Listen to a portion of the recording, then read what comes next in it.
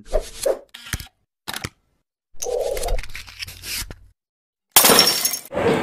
Assalamualaikum warahmatullahi wabarakatuh.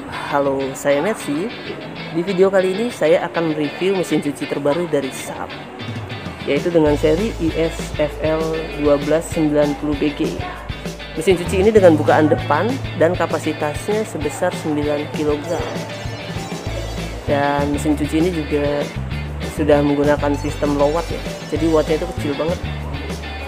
Untuk harganya sendiri dia dari harga 6.829.000 untuk promo kali ini dia hanya 6.487.550 rupiah.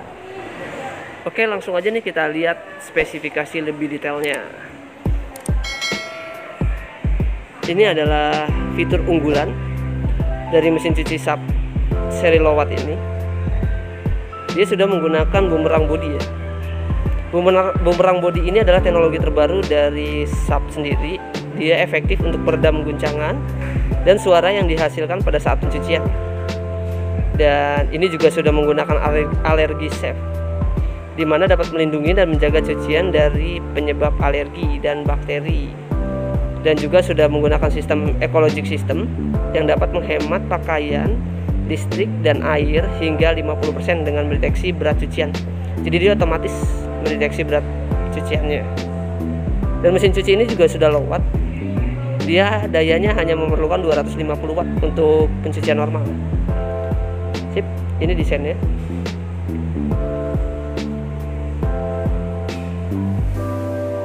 Seperti biasa desainnya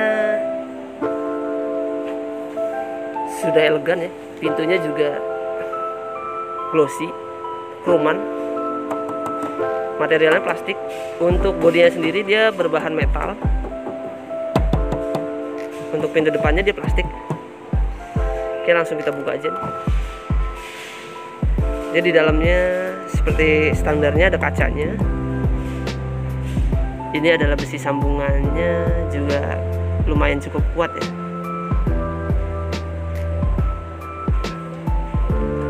sambungan juga lumayan cukup kuat buat pintunya. Dan drumnya ini seperti ini.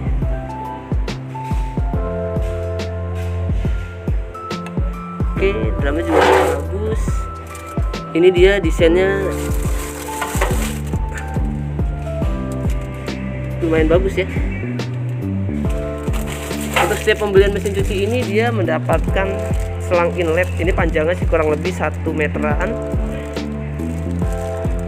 Oke untuk karetnya juga dia lumayan tebel jadi nggak gampang rusak ya atau nggak gampang rembes. Ini biasanya yang sering kalah sih di sini nih. Jadi mesin cuci front loading itu yang sering kalah dia di karetnya ini. Jadi kalau beli mesin cuci front loading yang perlu diperhatiin juga adalah karetnya. Tingkat elastis dan ketebalannya. Oke. Dan seperti pada umumnya di sini ada tempat pembuangan ya cara membuka cukup mudah ya. Tinggal dicongkel aja. Itu ya bisa menggunakan kunci atau besi. Tinggal congkel kayak gini. Nah nanti di bagian dalamnya ini tinggal diputer aja. Diputer. Oke. Nah kayak gini. Nanti diputer aja. Nanti koin atau kancingnya itu nyangkut di bagian sini gini doang sih. Jadi itu koin kancing itu nggak terus-terusan berputar di dalam drumnya. Dia langsung lari ke dalam sini. Cara ngambilnya tadi cukup mudah kan? Tinggal dicongkel aja dibuka dan ini diputar. Diputar berlawanan arah jarum jam untuk membuka dan untuk menutupnya diputar searah jarum jam. Oke. sip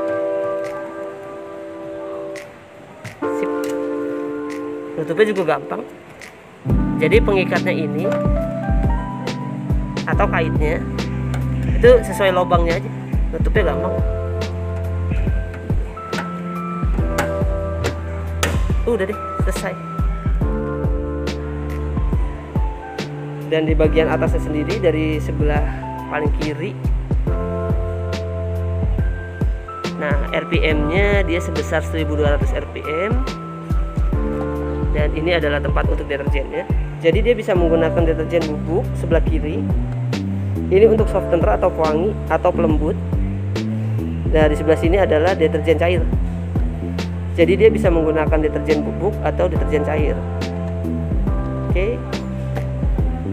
Dan di bagian tengahnya ini adalah indikator LCD indikator ya nah di sini nanti menunjukkan temperatur waktu spin delay easy ironing ini untuk jadi pakaian itu mudah untuk disetrika oke. Dan di sebelah paling kanan ini adalah menu untuk pengaturannya. Jadi dia juga udah memiliki sistem super jet ya atau quick wash. Dia hanya 15 menit dan menggunakan suhu sebanyak 30 derajat.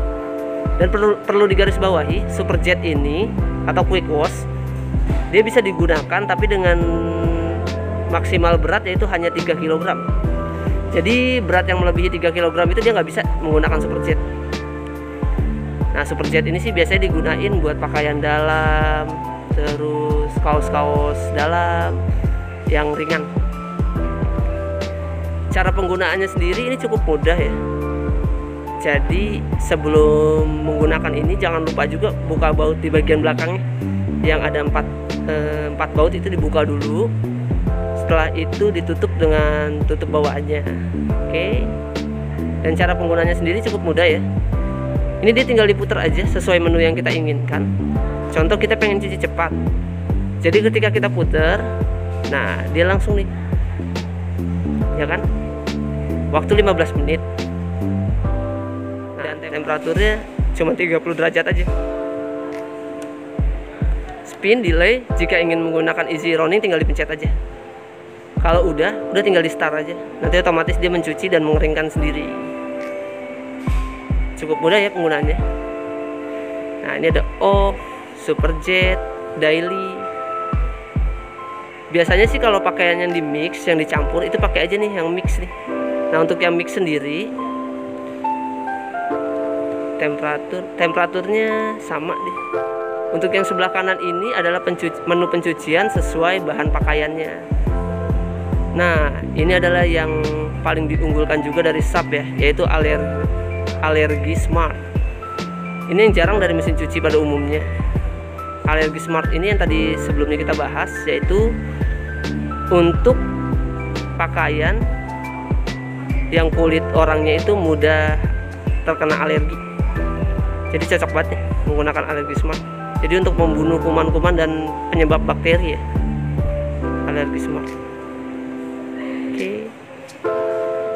dan untuk mesin cuci ini juga dia bisa diatur kecepatan spinnya atau kecepatan RPM nya RPM itu bisa diatur dia minimal 400 ya jadi misalnya kita ini disesuaikan aja sama bahan pakaiannya misalnya bahan pakaiannya itu hanya kaos pakaian dalam. Itu gunain 400 aja saran saya. Kenapa menggunakan 400 itu agar pakaian e, cucian kita tidak gampang beler kecuali kita akan mencuci jaket celana jeans, selimut, bed cover itu gunain yang paling tinggi aja 1200 oke? Dan temperaturnya ini disesuaikan aja. Dia bisa 50 maksimal dia 60 derajat celcius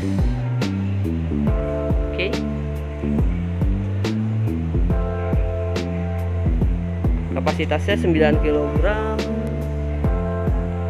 desainnya juga menurut saya cukup elegan ya. Oke langsung kita lanjut ke bagian belakangnya. Oke ini adalah desain bagian belakangnya. Standar sih bagian belakangnya. Seperti biasa ini ada keterangan pembuatannya. Jadi mesin cuci ini impor ya. Negara pembuatnya yaitu Turki.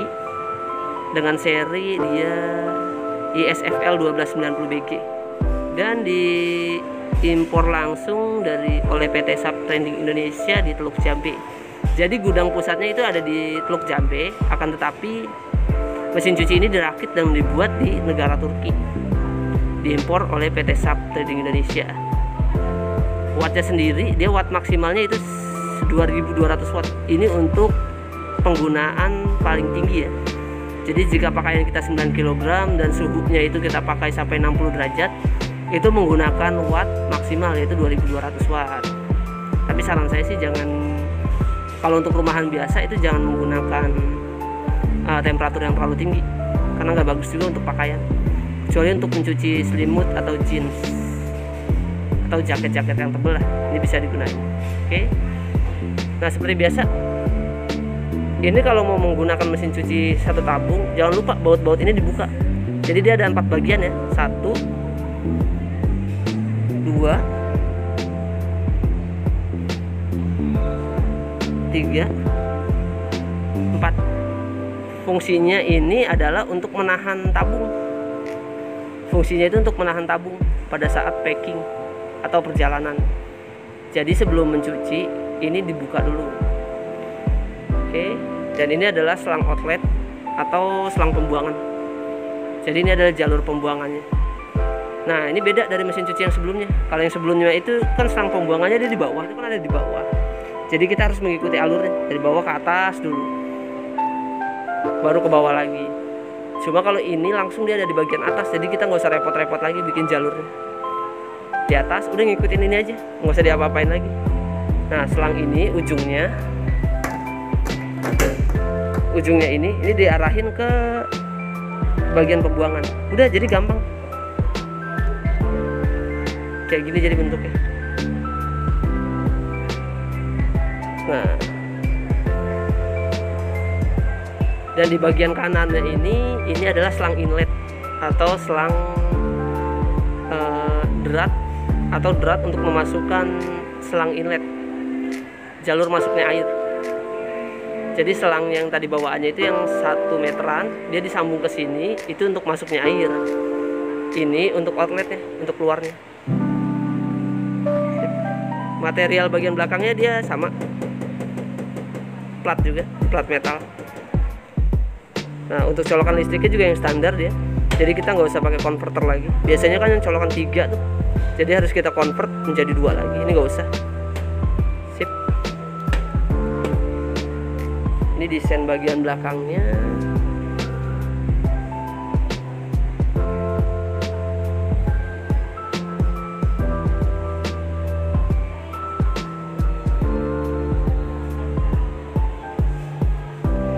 Sampingnya seperti ini. Jadi keseluruhan materialnya sih menggunakan plat ya cuma bagian atasnya aja dia menggunakan plastik. Atas sama pintu depan. Pintu depan ini menggunakan plastik juga ya paling segini dulu ya informasi yang bisa saya sampaikan. Jika ada yang ingin ditanyain spesifikasi lebih detail dan ingin request uh, barang apa lagi yang akan saya review itu tinggalin aja di kolom komentar ya. Oke. Jangan lupa share video ini sebanyak-banyaknya jika bermanfaat. Dan Wassalamualaikum warahmatullahi wabarakatuh. Happy watching.